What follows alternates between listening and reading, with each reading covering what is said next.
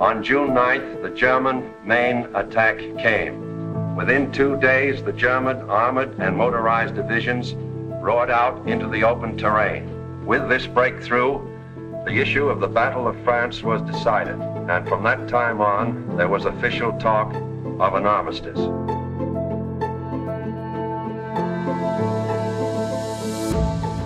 Hi, I'm Diane Gregg, and welcome to Invisible Women, podcast about eight women who worked in espionage during World War II. They were from different countries, cultures, and backgrounds. But what they had in common was the opportunity to step outside of societal norms, while at the same time working in the shadows. And while their contributions were incredibly important, they've been hidden. Invisible Women is an opportunity to hear their stories to explore their roles in society and discover what we can learn from their stories that's relevant today. I was trained for three weeks by the French intelligence. I had to memorize all German uniforms, medals, ribbons, weaponry, and all types of ground troop movements. I was taught Morse code, maps, diagrams, and practice shooting different kind of guns. I found out I was a crack shot. And before going into enemy territory, I was interrogated fiercely by my own army. That's Ayla, a young Jewish woman who worked for the Free French Army. Through her story, you will hear how, in order to contribute to the war effort, she had to hide her Jewishness, which she did even when enlisting in her own country's army.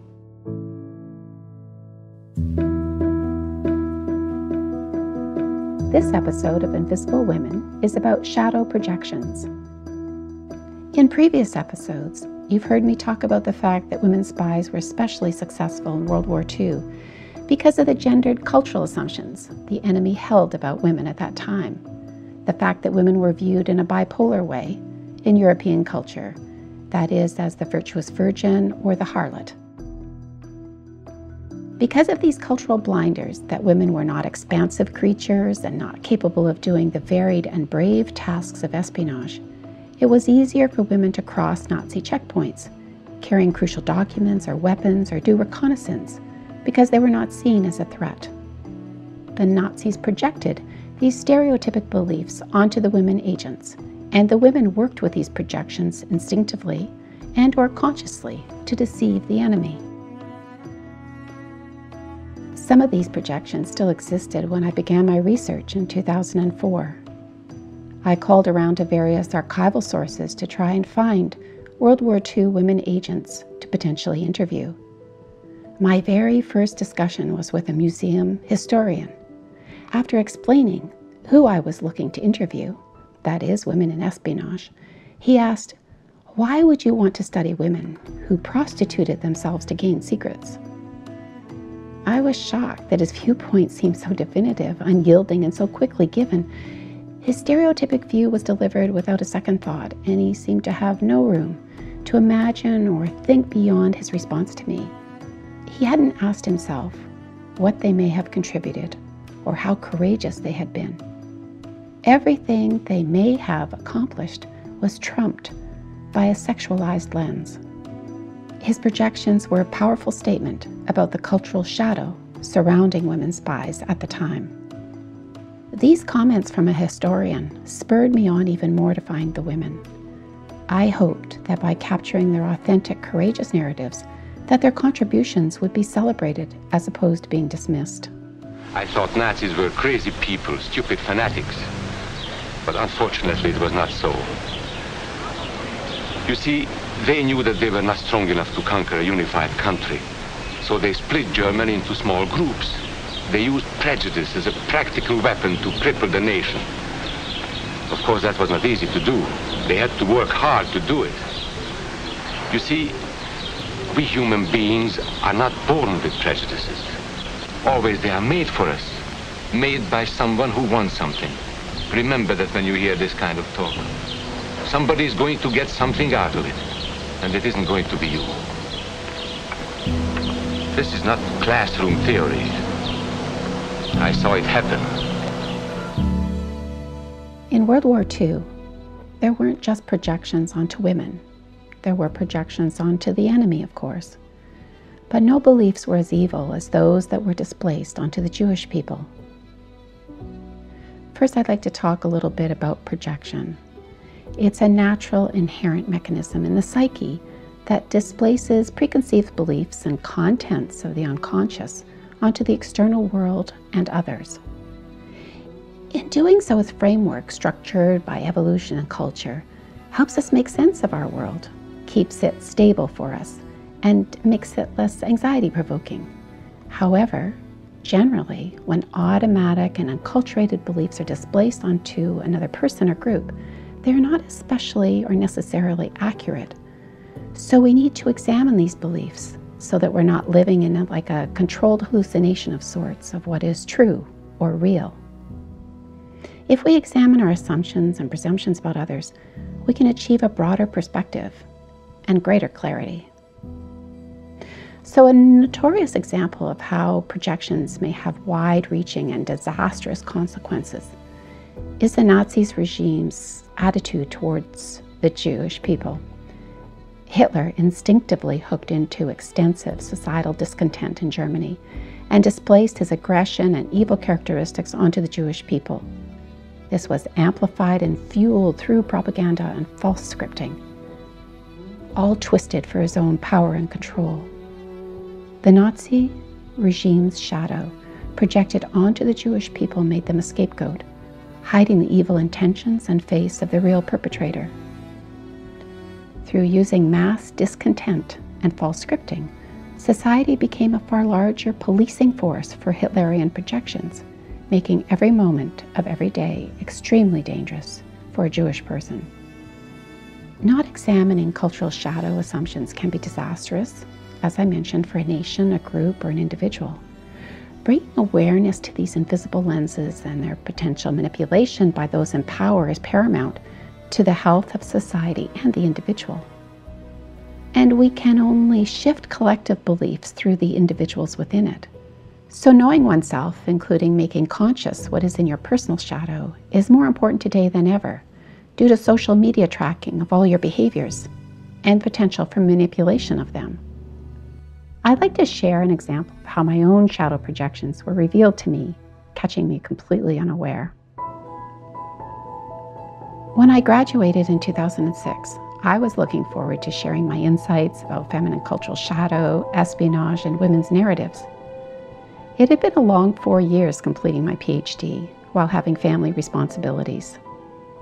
So late that year, when the opportunity presented itself at a conference in the Loire Valley in France, I took it. It was fall and the leaves were beginning to change color. The manor house on the farm I stayed in was chilly in the evenings, but the nights looking out over the window panes to the French fields couldn't have been prettier. The fields were yellowing in the autumn and well lit as it was the week of the full moon. I could easily imagine the Allied planes sweeping in and agents dropping into the manor's lit fields and shadowy forests. It would have been fairly easy for the welcoming resistors to hide in the clumps of dark trees and later for all agents to go unnoticed in a large farm manor house with all its nooks and crannies. These farms were quite a distance from each other with small forests and fields in between and villages dotted about. The biking distances between drops and meetups would have been long and physically demanding for the agents and dangerous with random Nazi checkpoints. Of course, I was thrilled that my first talk about women, war, and espionage would be in France, and excited that it took place the week of the full moon. However, I was soon disappointed, as my presentation was not well scheduled or attended. In the moment, I thought perhaps it's because I'm North American speaking on what is perceived as a European subject, but I wasn't sure. Then later, a Russian born professor I knew was in the common area arguing with a French scheduler, saying that my talk should be rescheduled in the main presentation hall because it is about European shadow and important to discuss. As she saw me walk by, she brought me into the conversation. She was a professor of cultural consciousness. I appreciated her point, but it all felt awkward, as shadow discussions often do.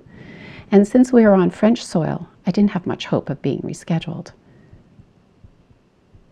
It was a curious thing at that time to witness a Russian woman arguing for my research with a French woman regarding World War II cultural shadow in France in 2006. I was grateful that she was willing to confront this, but it was also evident that the French scheduler would have the final decision. Anyhow, at lunch the next day, I was sitting outside at a bistro table, enjoying the autumn sunshine, and an attendee, a woman wearing, I remember, all white, walked up to me with her coffee cup and sat down across from me at the table. She didn't say anything, but rather pulled out a cigarette and lit it. She gave me a studied look and said in a heavy French accent, Your work is very avant garde, but it's hard for the people here. She was poised, deliberate, and silence punctuated the air except for her long inhales on the cigarette as though it was a lifesaver of sorts.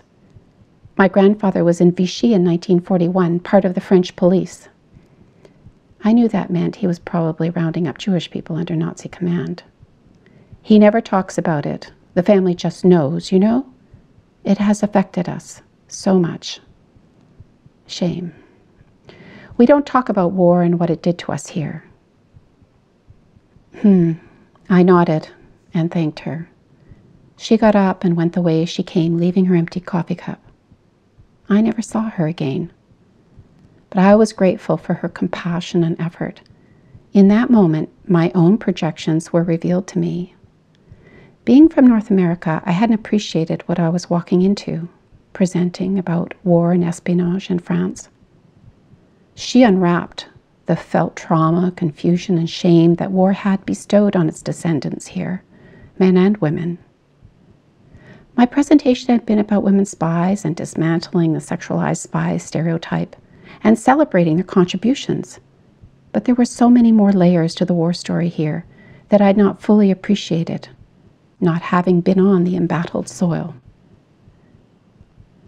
You know, after the war in France, it was very difficult to tell who was collaborating and empowering the Nazis, and which women were undercover agents or simply trying to survive and feed their families.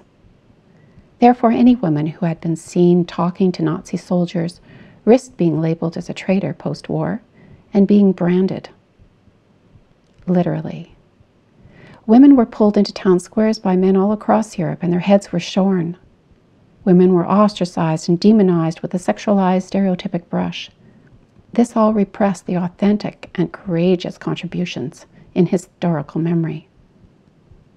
The women I interviewed only spoke about their war contributions and lives as long as it was anonymous for fear that they would still be branded with that harsh and sexualized stereotype, like the one I heard, which was still alive and well in the mid 2000s. And of course, most of them had not received any validation, recognition, or medals for their work compared to male agents, which was a signal to them that these beliefs had not shifted. Their roles and contributions were invisible still.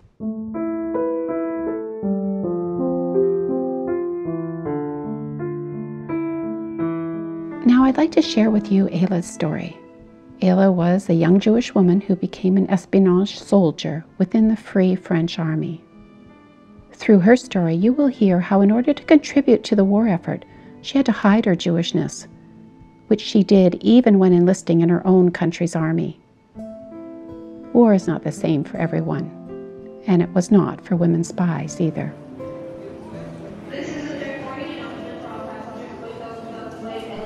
Your departure gate today for Washington will be 31A as in Alpha. In the summer of 2005, I flew into the United States, hopped on a shuttle, and after an hour was dropped on a neighborhood street in front of a meticulously landscaped bungalow. As I walked up the steep driveway, I turned and looked at the sun shining off the Pacific Ocean. Although on the outskirts of a busy city, it was very peaceful there. Ayla, a very petite woman in her 90s, greeted me at the door, and her blue sweater and bold blue necklace perfectly reflected her eyes, which smiled easily. After showing me family photos in her den, we settled at the dining room table. I mentioned that although I knew there had been some publicity around her war story, especially due to the 60th anniversary of D Day, I had purposefully not read about her contributions. I hoped to hear her story directly from her, unfiltered by others. She obliged me, remembering so many details easily and well. In 1939, when the war broke out, we were living near the German border in France. We left quickly, just taking a few things, thinking we'd be back soon. We went to eastern France, where an uncle lived and found apartments and eventually work. Two of my brothers and two of my younger sisters became more active in the resistance, helping Jewish families connect with farmers who lived on the border enabling the families to cross the demarcation line into the unoccupied zone. However, one of my sisters was caught by the Nazis. She was sent to a camp. But we planned her escape with the help of the resistance and the camp's doctor. I was working in the city hall when we were invaded, so I had to leave my job because I was a Jew. Then one day, by chance, on the street, I met one of the clerks from the hall.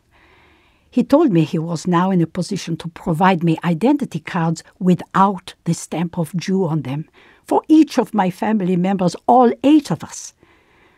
I was so grateful to him.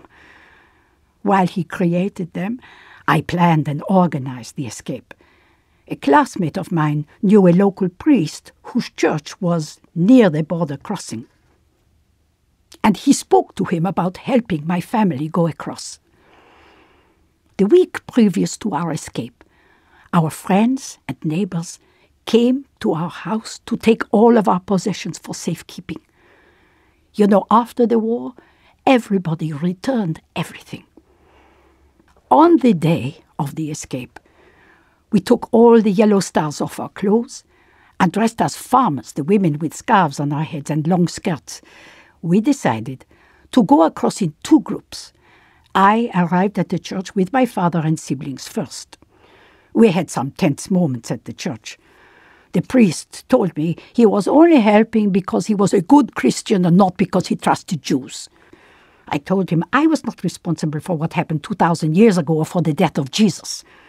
The priest said he disagreed with me, but he did his job of reconnaissance around the area between the church and the border, and when it was clear of German patrols, my father and siblings left to cross over. I waited for hours in the church for my mother and grandmother to arrive by bus. My mother and I helped my grandmother walk to the church as she was not well. The priest was touched by our helping grandmother so he scouted the area again without arguing. because of grandmother's recent operation, we could not go through the fields. We had to take the road, which was more dangerous. We sat grandmother on my bike and we walked along the sides, holding it. The three of us made what seemed like a very long journey through the town. We progressed very slowly. You know, the Germans offered the farmers along the border a year's wages if they reported on Jews trying to cross. And there we were, walking in front of the farmhouses toward the border. And of course, they all knew. It was August, nice weather, at dusk. The men were smoking and sitting in front of their homes, and the women, they saw us three women arriving and grandmother sitting on the bike. It is hard to speak about it. They knew. First farm, it was amazing. They started praying. Some would cross themselves, men kneeled, and as we passed each farm, they did the same. Most beautiful human thing I ever lived through. We made it across the line and met up with the rest of the family. We all waited 24 hours hoping to see my sister come across, but she did not. Later, we found out that her escape was foiled by a German commander. She was caught with a letter from the resistance at the last moment. My mother was overwhelmed. I still fear the loss. At this time, my sister, who was a medical student, was helping the sick children in the holding camp.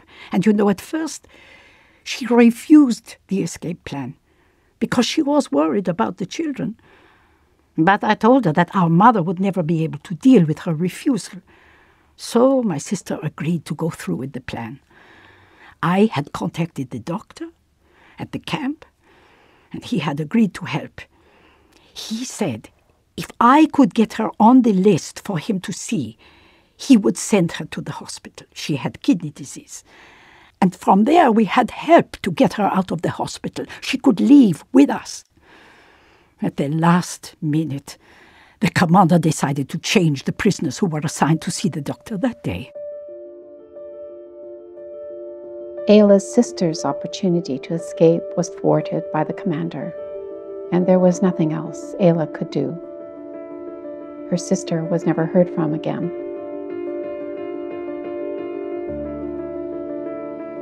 Ayla, now having crossed the border, was in unoccupied France. Ah, oh, being away from Nazi occupation, we could move more freely because of the identification papers. So, I decided to finish my studies and enrolled in nursing school in Marseille. My sister and I shared an apartment, my parents and other family members went into the mountains to farm with relatives. During that time, I was also uh, meeting up with a young man I had met through my sister. We had fallen in love. He was a medical student and a resistor. We were apart for six months or so at the time. We only met up three times.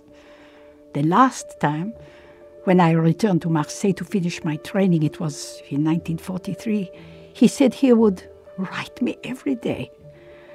But after three days, nothing arrived. Then, a few days after finishing my nursing degree, I heard the news. He and his brother had been executed by the Nazis. Oh, I was devastated. All I wanted to do was join the resistance in Marseille and undermine the Nazis. I asked a lieutenant I knew in the French army if I could help, and he laughed at me, patted me on the head, and said, We don't ask little girls to risk their lives. I went to Paris with my sister and worked, taking care of an elderly woman until the liberation. It was a precarious time. We used the new identifications to move around, but we knew they would not hold up if examined closely. We moved apartments many times, helped by various Parisians. We lived as normally as possible. My sister and I, when we lived in Paris, would go to the theater. There was a play about Antigone. In English, you say Antigone there is a scene where Antigone is sitting on a bench in a very drab prison room, and the captors talk about her as though she was not there. In the theater, there were always many German army officers. It was full of them. At that scene, everyone who was French would react very strongly, and the Germans could not understand why. We were amazed that they did not realize it was an attack on them.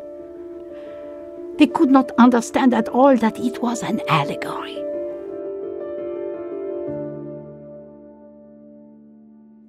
We were almost caught one day by a German intelligence officer, a fellow we knew from our original town who had been for meals in our home. He asked why we weren't wearing yellow stars. My sister quickly got us out of there, saying we had forgotten them. We went back to the apartment, gathered our things, and left. Also, at that time, I asked the Red Cross in Paris if I could help, and they said, We don't hire Jews. So, I decided to visit my fiance's mother. It was an emotional time. She had lost two sons in the firing squad and she was quite ill. We helped her recover, and she helped me join the French army. You see, because her sons died as resistors, it made her recommendation powerful. No one knew I was Jewish. I did not inform them. as there were some anti Semites within the French army as well. Like the Red Cross, I would not have been able to join. I did basic training and was sent to the Alsatian front. I was supposed to go in as an officer and nurse, but the commander downgraded me to sergeant and social worker because I had not helped the resistance previously and all his men had. I didn't know anything about social work. I was supposed to be a nurse. I was upset, but I was adaptable, positive.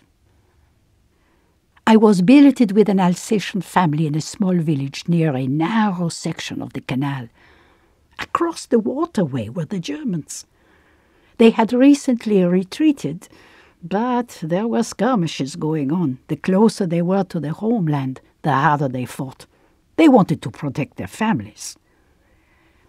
Every day, I went about my new job in the foxholes on the front line. I would say, I am Sergeant so and so, your new social worker. Is there anything you need? They were shocked, as they had never had a social worker before. It was winter and below freezing, and I found that the soldiers needed blankets, pens, and the like. I found items through the local townspeople. One day, I was walking to the foxholes, and I met my commanding officer. He asked me to take calls for him as his assistant was busy. He commented that he was sorry there were only German books to read in his office. I told him it was not a problem as I was fluent in German. I had grown up near the German border. He was surprised. And he said the army had been looking for someone who spoke German, and the fact that I was a woman was even better. I'd attract less attention. He asked me if I was interested in doing intelligence work. That was a big surprise. The most important thing is that I would not have done reconnaissance if I had not been asked to replace his assistant that day. No one gave me any directives, and all of that was surprising. In war, there are far more surprises than in peaceful times. And in the army, you are asked to do things you are not expected to do at all. At first, I just said yes. Then, when he left, I really sat down and I was very worried. How could I be in such a predicament? But it was too late. I had committed myself. Once I committed myself, I would never go back on my word. But I was very worried. It was something very unusual. My hesitation was not for very long. As soon as they came to pick me up, I never raised the issue. So many people had risked their lives.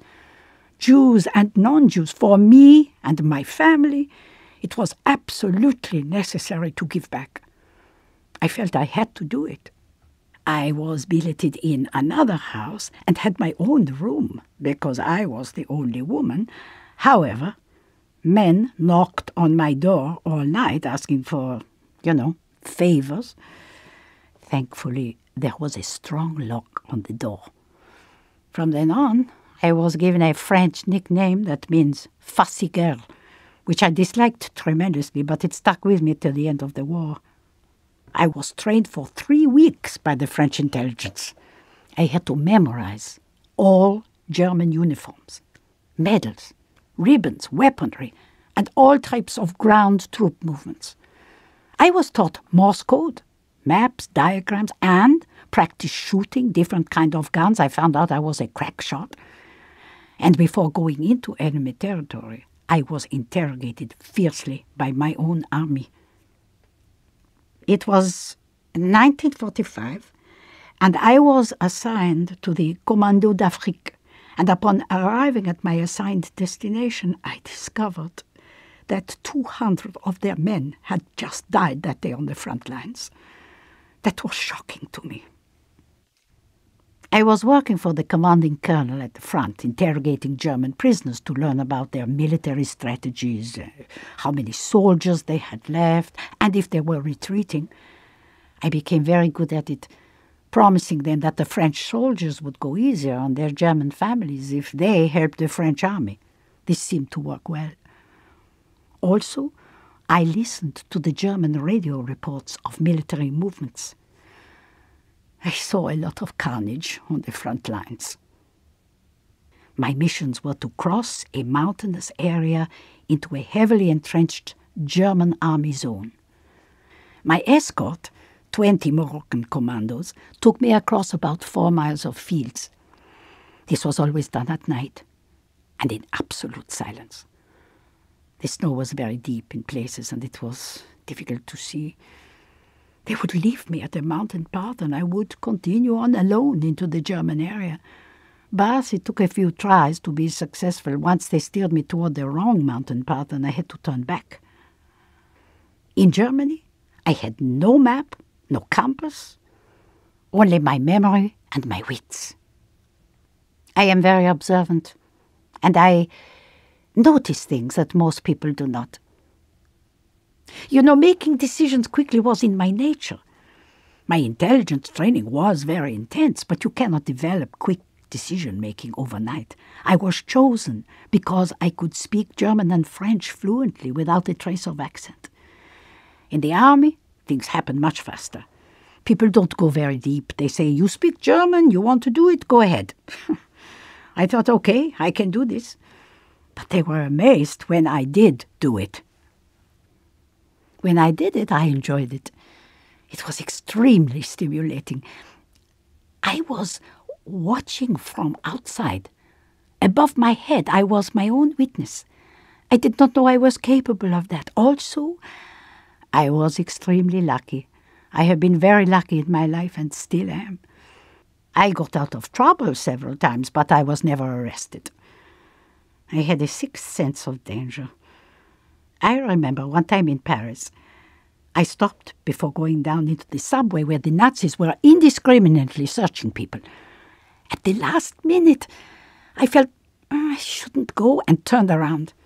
Another time I stopped in a town square because I felt I shouldn't go. I cannot explain it, and every time it saved my life. When it is very dangerous, you go back to your primitive reflexes. In espionage work, no one is watching.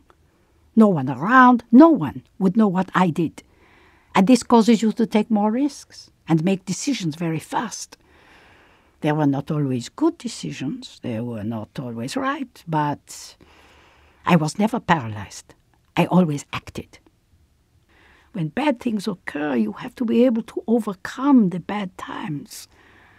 I learned never to judge anybody else. You don't know what frame of mind others are in. Everyone is different and can be very afraid when minor things occur. I cannot judge anybody else. I thought I was incapable of doing things, and I did them anyway. Everybody has to live their own lives, and it is difficult to give suggestions.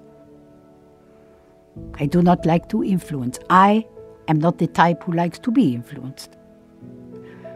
But I have gotten more out of life by being adventurous. At age 84, I swam with the dolphins in Mexico. It's important to do new things. I am enthusiastic and grateful for life. I never believed I was a hero, and I still don't. I only felt I was doing the right thing.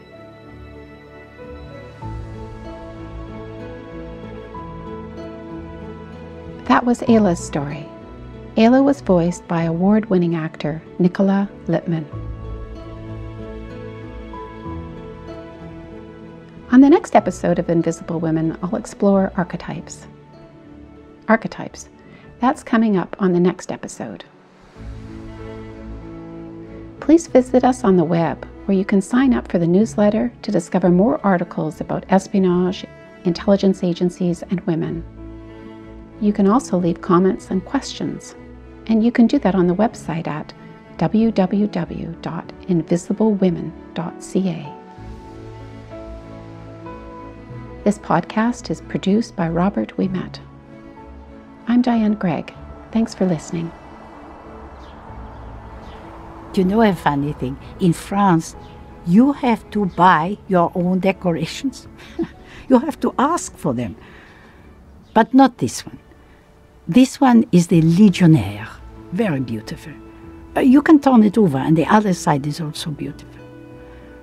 This one is the Médaille Militaire. It is like the Congressional Medal, only given to soldiers or to non commissioned officers. When I gave a talk in my hometown, the veterans gave it to me. It is very important.